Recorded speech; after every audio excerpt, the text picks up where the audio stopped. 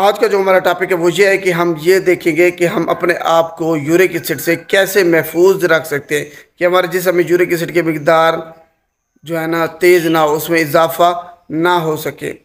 अपने आप को गौर से बचाने के लिए हम यूरिक एसिड से हमें बचना होगा। जो भी खुराक है, चाहे वो मशरूबात हैं। जो भी यूरिक एसिड से इजाफा करती हैं, उनसे हमें बचना होगा। हम देखते हैं कि कौन सी खुराक और मशरूबात हमारे यूरिक एसिड में इजाफा करती हैं। उससे पहले आपको गाउट की अलामत दोबारा से बता देते हैं कि गाउट क्या है। यूरिक एसिड बढ़ने की वजह से ये जोड़ों में आपके दर्द होता है। होता क्या है कि यूरिक एसिड के जो क्रिस्टल्स हैं, वो आपके जोड़ों में, ख़ास तौर पर आपके अंगूठे में जो है ना, वहाँ इन्फ्लेमेशन का करते हैं। स्वेलिंग हो जाती है रेडनेस हो जाती है पेन होता है बहुत ज़्यादा।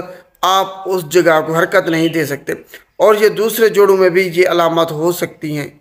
ये अचानक से दर्द उठेगा, हर वक्त पेन नहीं रहेगा और फिर ख़त्म हो जाएगा जैसे कभी था ही नहीं। तो ये गाउट की सिम्टम्स हैं। यूरिक एसिड बढ़ने की वजह से ये गाउट होती है। ये आपको दर्द तकलीफ़ पेन होता है।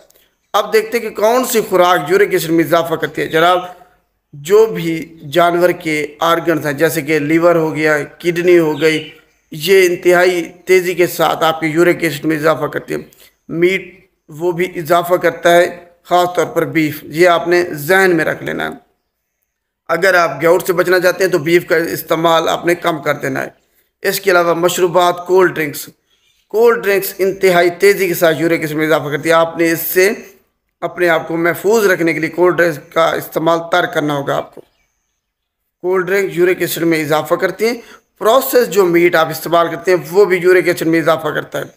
फास्ट फ़ूड जो इस्तेमाल करते हैं, वो यूरिक एसिड में आपके इजाफा करता है। शराब अल्कोहल वो यूरिक एसिड में बहुत ज़्यादा इजाफा करती है।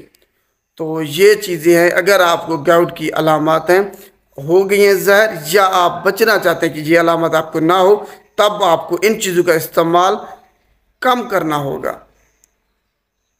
उम्मीद है आपको समझ आ गई होगी कि हमने यूरिक एसिड से अपने आप को महफूज रखने के लिए कौन सी खुराक का इस्तेमाल कम करना है। अगर वीडियो अच्छी लगी तो इसको लाइक कीजिएगा और शेयर भी लाजमी कीजिएगा। शुक्रिया।